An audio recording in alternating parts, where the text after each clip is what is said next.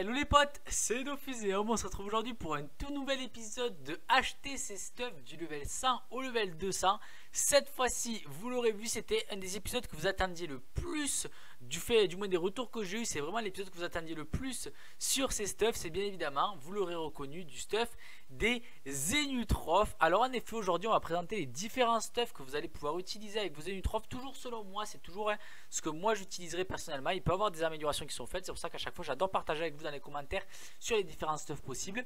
Donc, les différents stuffs que vous allez pouvoir utiliser sur vos Zenutrophes pour avoir un maximum de prospection du level 100 au level 200 tout simplement.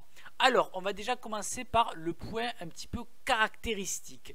Dans quoi mettre ces caractéristiques? Ça, c'est la grande question que j'ai tous les jours, vraiment, peut-être 5 à 10 fois par jour, que ce soit sur Snapchat, sur les lives ou peut-être même sous les vidéos ou même in-game. Alors, en termes de, caractéristiques, moi, ce que je préconise, c'est de rester sagesse jusqu'environ au level 140-150. Euh, enfin, je vous en reparlerai dans tous les cas. Mais voilà. Quoi qu'il en soit, une très grande chose à faire sur les énutrophes. Et ça, je vous le dis dès le début de la vidéo. attention, je ne serai pas content si vous ne le faites pas. C'est de monter le chasseur. Ça, c'est pour moi un des points les plus importants. Monter votre chasseur très très vite. Et honnêtement, hein, je vous le dis honnêtement, ça va doubler vos kamas. Les stuffs sont une chose, mais avoir le chasseur vous permettra de doubler vos kamas. Et ce n'est pas une blague, genre vraiment, honnêtement, ça vous permet de faire très très... Euh, enfin, de faire beaucoup la différence plutôt par rapport aux teams qui n'auront pas chasseur. Donc au niveau des stuffs, on va directement commencer avec le stuff niveau 100, un stuff qui ne vaut pas cher du tout, du tout, mais qui va vous permettre de vous lancer. Pourquoi je choisis de présenter un stuff qui vaut pas cher? Parce que quand vous allez commencer le jeu, vous allez sûrement faire une team menu dès le début. C'est ce que la majorité des joueurs 1.29 vont faire. Et vous allez commencer, vous n'allez pas avoir de kama. Justement, vous créez cette team menu pour avoir des kamas. Donc, qu'est-ce qui va se passer? Il va falloir un stuff pas cher mais efficace. Et ce stuff là, il est tout trouvé avec le stuff gelé, bien évidemment, la panneau, euh, pas gelé plutôt, le panneau Gelax. Donc, qu'est-ce qu'on va y avoir? Qu'est-ce qu'on va avoir Oups là, pardon? J'ai fait un petit, euh, un petit retour. Donc, qu'est-ce qu'on va avoir?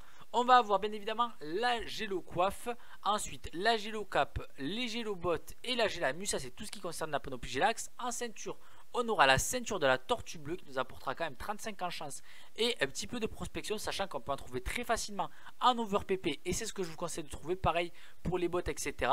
En termes d'anneaux, ils n'y sont pas ici parce qu'ils ne sont sur aucun des Dofus Book, même le Dofus Book, Dofus Touch. C'est les anneaux du mineur gorgorifiant. Notez-vous-le sur un petit bout de papier parce que ces anneaux-là sont très importants jusqu'à un level qui sera assez haut et c'est donc les anneaux du mineur gorgorifiant. C'est des anneaux orange tout simple qui ressemblent un petit peu à la Neutrophion mais en orange. Vous trouverez très facilement en HDV. Ils ne valent pas cher du tout, ils sont très efficaces. En termes de corps à corps, on sera sur une pelle et buse qui va vous permettre pareil d'avoir pas mal de chance et de PP.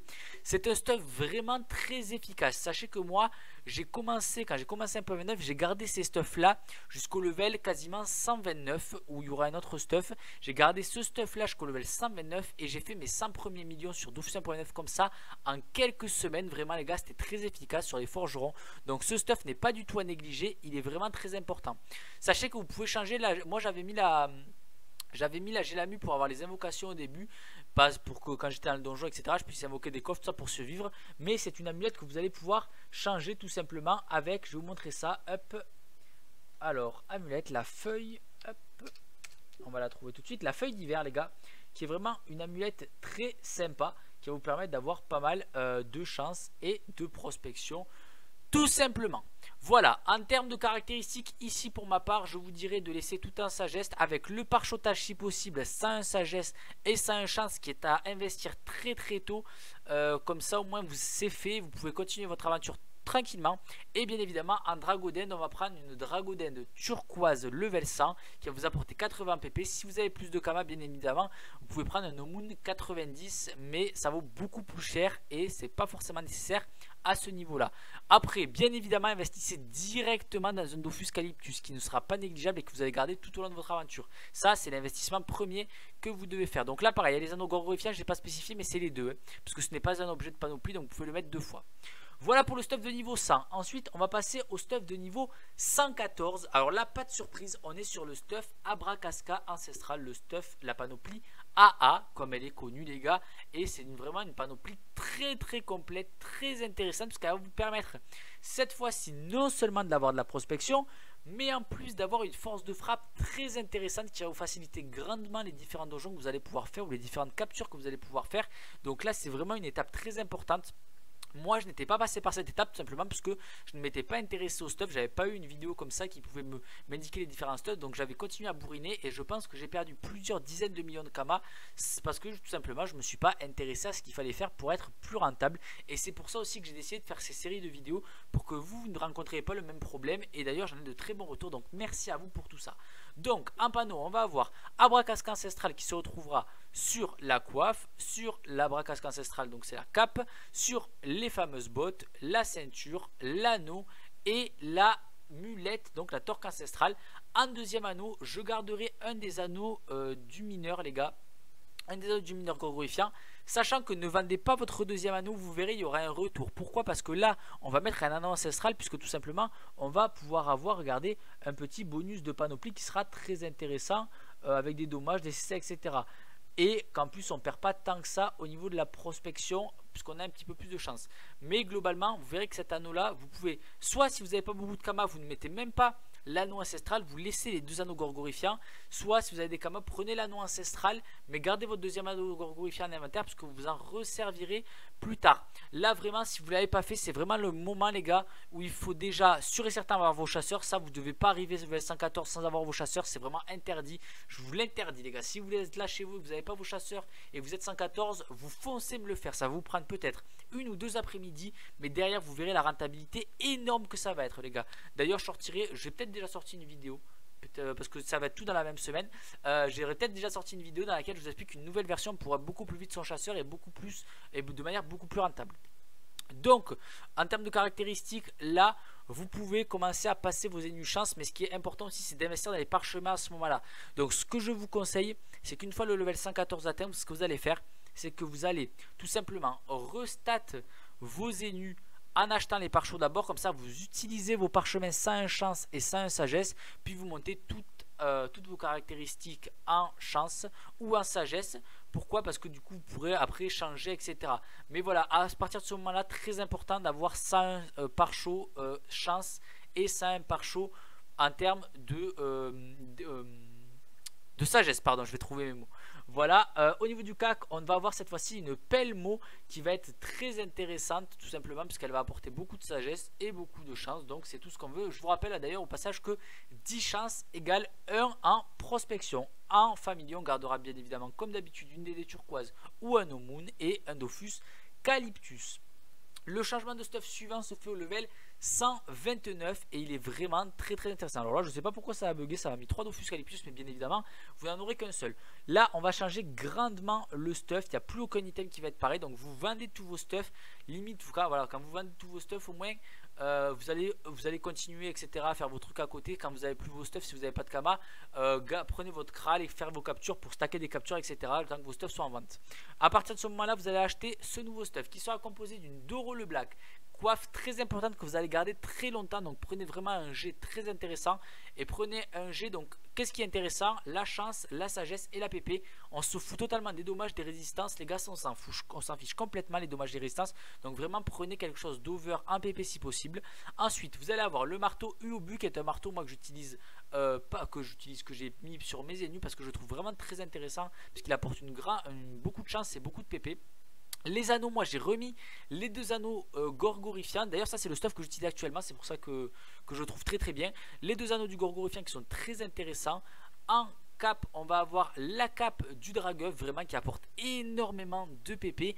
Tout comme les bottes de la même panoplie et l'amulette de la même panoplie. Ça c'est vraiment les gars les trois items dragueuf qui apportent beaucoup en termes de prospection. Donc vraiment pareil, ça il faut, vous pouvez trouver des jets en plus euh, over assez facilement. En ceinture, on prendra la ceinture sous là, pareil, 50 chances, 20 pp, donc c'est vraiment de gros items qui apportent pas mal en pp.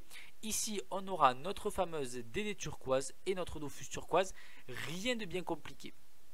Ensuite, on passe au stuff suivant qui est un stuff les gars que vous allez pouvoir trouver à partir du level 163 à peu près voilà le plus haut item level 163 ce sont les bots j'ai oublié de mettre le Dofus Calyptus d'ailleurs qu'est-ce qu'on va avoir? On va avoir toujours notre Doro le Black encore à corps, je vais être honnête, je laisserai le marteau Uobu, mais je l'ai pas mis puisque on peut trouver des marteaux un peu plus, des, des cacs un peu plus sympas, mais qui valent très cher et qui n'apportent vraiment pas grand chose en plus. Donc ça c'est à votre guise, mais je laisserai personnellement le marteau Uobu pour ne pas dépenser trop pour pas grand chose. En nano, on aura le saut souverain du Waseng et, euh, le bracelet du Minotaur. Ces stuffs là, ces deux anneaux, vous allez les conserver jusqu'à la fin de vos stuffs. Donc vraiment, pareil, n'hésitez pas. Un gros investissement est possible, mais vous savez que vous les garderez jusqu'à la fin. En cap, on va être bien évidemment sur de la Minotaur. Vous avez vu, on est vraiment sur une grosse base Minotaur, mis à part la coiffe. D'ailleurs, ah, j'ai pas fait le test, ça c'est ce que je voulais voir. Sans mettre la coiffe, les gars, euh, moi je pense que c'est plus intéressant de ne pas mettre la coiffe Minoto et de laisser Doro le Black honnêtement même avec les bonus. Mais euh, ouais, non, je pense que c'est le plus intéressant quand même. Donc ensuite, vous mettez bien évidemment la ceinture Minoto, les sandales Minoto et l'amulette Minoto. Euh, ensuite, vous mettez toujours votre DD turquoise et votre Dofus Calyptus. En plus, vous avez le petit bonus là ici, 40 chance, qui est bien sympa. Et je pense honnêtement que ce n'est pas rentable de mettre la coiffe Minoto pour avoir tout le stuff. Et qu'il est préférable de laisser Doro le Black puisqu'il apporte 30 de PP et 60 de chance quand même. C'est vraiment, vraiment pas négligeable pour ce que je pense, les gars. C'est ce que je pense en tout cas. Ensuite, on arrive au dernier stuff, au stuff level, les gars. 194 à peu près, je crois que c'est, si je dis pas 195, 195 c'est le level des bots. 195 ça va être le dernier stuff qu'on va utiliser. Alors là, qu'est-ce qu'on va retrouver? On va retrouver un casque harnage, les gars. Alors là, vraiment, on est sur un stuff avec une PP démentielle. On va avoir 60 chances et 32 PP, donc c'est vraiment énorme, sachant qu'on peut trouver pareil des 33 PP ici sur ce genre d'item. Ensuite, en cas qu'on y reviendra à la fin, parce que c'est une petite particularité, en, euh, anneau, on va laisser les deux anneaux que j'ai cités précédemment et que je vous ai dit qu'ils seraient jusqu'à la fin, c'est-à-dire le saut souverain, du roi 5 ainsi que le bracelet du Minotaute. En cap, on laisse également la cape du Minotaute qui est vraiment très très intéressante, toujours pareil, 32 pp, 52 chances, c'est des items avec 32 pp à chaque fois, c'est insane les gars. Sandales circulaires du Kimbo pour les bottes, pareil, regardez ça, 20 pp et 70 de chance, ça vous fait monter très haut. Euh, en tranche, les tranches du sous-bois, pareil, on peut à chaque fois trouver des, gars, des over 33 pp sur ces items, mais c'est assez délicat. Euh, on peut essayer d'en trouver. Je sais qu'il y en a pour les anneaux, les gars, qui privilégient aussi les blitérés. Euh, honnêtement, ils valent très cher, donc vous pouvez mettre un blitéré, mais ça, vaut, ça vaut assez cher. Donc voilà, je vous le dis au passage, moi, je suis plutôt partant avec ça. Mais c'est vrai, ah, vrai que quand même le blitéré, il peut faire 33. Oui, ici, je mettrais quand même plus le blitéré à la place du saut souverain, vous voyez les gars Ouais, je mettrais vraiment plus le blitéré, on va le mettre d'ailleurs. On va le mettre, on va le mettre. On va mettre le blitéré à la place. Hop. Alors, anneau, non pas level 1, c'est un level 1 à 200 s'il te plaît le jeu, merci. Anneau oblitéré, c'est vrai qu'il apportera quand même beaucoup plus. En plus, vous pouvez trouver des très bons jets. Donc, ça me paraît pas trop mal. Ok, donc là, ça m'a tout changé. Ok, ça m'a tout changé. Bon, dans tous les cas, euh, c'est pas grave. Vous avez vu après, on avait la lunette, la la mention. Et toujours pareil, les gars, on laisse Andragoden, la Dragoden turquoise. Et on laisse également euh, le Dofus Calyptus. Là, les gars, c'est vraiment le stuff ultime que vous avez vu. Genre, n'hésitez vraiment pas à faire investir dans le gros jet parce que chaque PP gagné vous fera gagner beaucoup à long terme. Moi, je vais faire très prochainement un rush de mes Zenutrof level 195 pour pouvoir adopter ce stuff. Donc, j'irai des XP au Krala. On se fera ça en quelques jours. J'espère que ça va aller. D'ailleurs, je vais acheter des orbes constituantes avec mes la 2.0 pour les mettre full sagesse là et faire un gros gros rush. On va se faire ça. On se fera ça en live dans tous les cas. Je voulais, comme je l'ai dit la dernière fois, les gars, euh, là, ben là jusqu'à aujourd'hui, normalement, j'avais pas euh, internet puisque euh, je changeais d'opérateur, etc. Mais à partir de demain, normalement, on est de retour en stream et on commencera, je pense, par XP tous ces petits nunus pour acheter leurs différents stuff. En tout cas les gars j'espère une nouvelle fois que cette vidéo vous aura aidé. Si vous voulez voir un épisode bas level, n'hésitez pas dans les commentaires à me demander la classe que vous souhaitez. Ou alors si vous souhaitez un certain type de level avec plusieurs classes, c'est-à-dire level 60 pour 3-4 euh, types de classes, etc.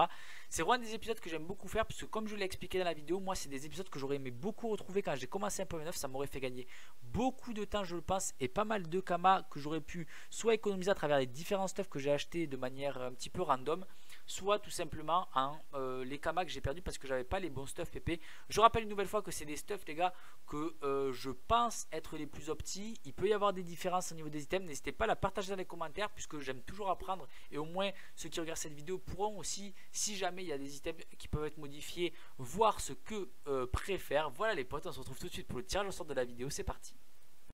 Du coup les potes on se retrouve pour le tirage au sort de la vidéo. Pour ceux qui ne connaissent pas je vous explique rapidement à quoi ça consiste. À chaque fois que je sors une vidéo sur ma chaîne C'est à dire tous les jours et maximum tous les deux jours Il y a un tirage au sort qui est disponible à la fin de la vidéo Qui va vous permettre de remporter soit des kamas soit un PL Ça c'est à chaque fois les gars. Et pour participer c'est très simple et c'est totalement gratuit. Il faut juste que vous vous abonniez à la chaîne YouTube. Donc si c'est pas fait hop on crée un petit compte on s'abonne à la chaîne YouTube. On met un pouce bleu sous la vidéo et on met un commentaire sous cette vidéo les gars. Et au moins vous allez dans tirage au sort et en plus ça me soutient, ça me fait très très plaisir. Donc on est parti pour savoir le lot qu'il aura gagné aujourd'hui. Ce sera, attention, peut-être 4 millions, 1 million de Kama. Et le vainqueur les gars, il s'agit de Anonyme. Euh, ben, félicitations à toi Anonyme, du coup tu remportes 1 million de Kama mon bro. Du coup, pareil, voilà, tu remportes un million de Kama, c'est très bien. Si vous aussi vous voulez participer, les gars, et tenter de remporter un PL ou tout simplement jusqu'à 10 millions de Kama, voire un Dofus. Vous avez vu que la semaine dernière, il y a eu un Dofus Emerald qui a été gagné. Plus il y en a eu un autre en stream qui a été gagné. Les gars, il y a eu deux Dofus Emerald de gagner la semaine dernière. Et bien c'est très simple. Vous pouvez vous abonner à la chaîne YouTube, mettre un pouce bleu et mettre un commentaire. Je vous rappelle également que si vous voulez me soutenir, les gars, mais que vous ne pouvez pas vous abonner à la chaîne Twitch ou quoi, ce qui est totalement compréhensible, vous pouvez aussi aller voir mon YouTube qui est juste en bas. Ça vous fait regarder une pub de 20 secondes et moi, ça me soutient directement. Merci à tous d'avoir regardé cette vidéo. Merci à tous de l'énorme soutien que vous m'apportez en ce moment. C'est vraiment, les gars, un pur plaisir. Je vous fais de gros bisous et je vous dis à très vite. N'hésitez pas à me contacter in-game ou sur les commentaires si vous avez des questions. C'était Dophyseum. Bye.